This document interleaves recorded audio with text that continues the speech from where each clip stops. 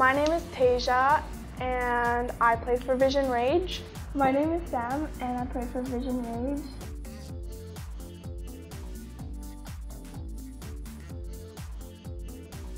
I chose to play for Vision because a friend recommended it and said that it was really good coaching. So I was like, okay, well, why not try out like a camp just to see what the coaching is like? And I really liked the coaching, so I tried out.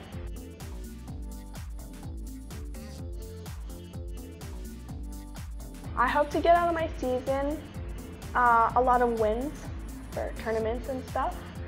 Uh, most of all, to get a lot of friendships out of it.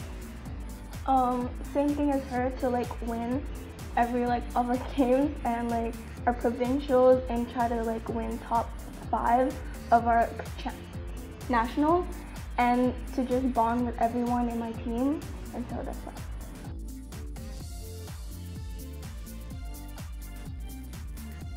I think my expectations were met. Everyone on the team I really got along with, made a lot of new friendships that I didn't think I would make, uh, and the winnings were very good.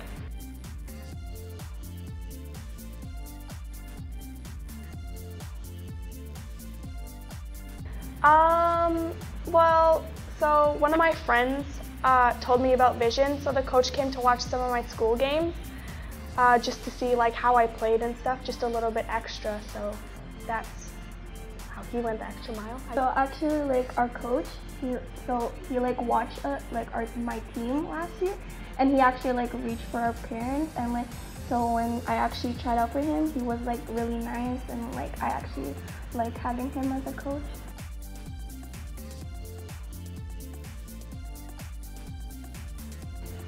Uh, Vision is very different from other clubs. We're very open, we're thought of as really nice people. Most other clubs, not to be rude or anything, but they can be known as very rude, overconfident sometimes, depending on the person, I guess.